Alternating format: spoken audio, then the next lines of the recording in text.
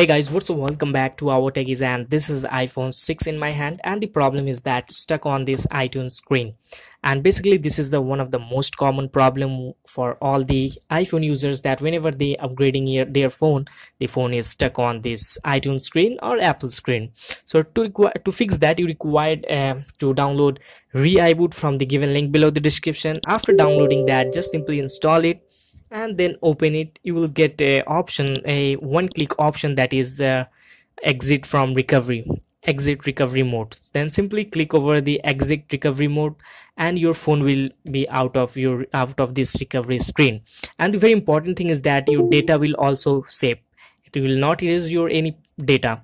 And another thing is that if your phone is hard brick then you can uh, you have to go through the, through the advanced mode. In advanced mode you can just restore your phone uh, as at factory reset. And the important thing is that in uh, advanced mode you will recover you it does not recover your data. It will completely vanished your data. Your data will be not recovered. So you have to remember that.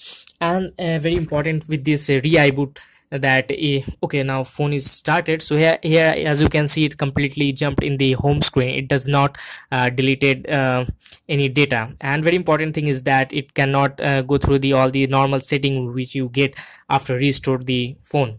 So here it is the uh, complete uh, uh, application is that ReiBoot.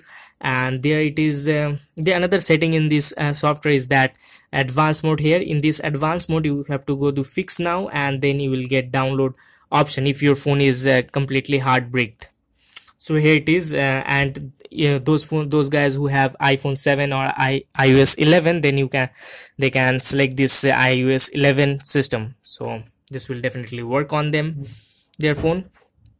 And here as you can see this is downloads option.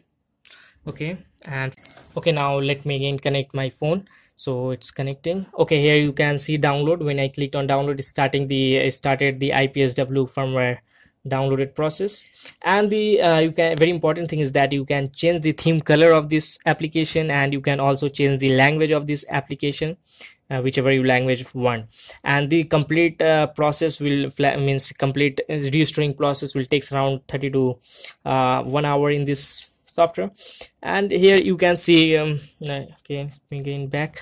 And very important thing is that it can fix all kinds of iTunes error except iTunes negative one error iTunes uh, error 3196 and iTunes error uh, 14 so it can help you to fix iTunes error 2003 2000 uh, 1001 so very very interesting uh, application is that and here as you can see it will also help you to jail uh, restore your jailbroken device without any uh, uh, without getting any error.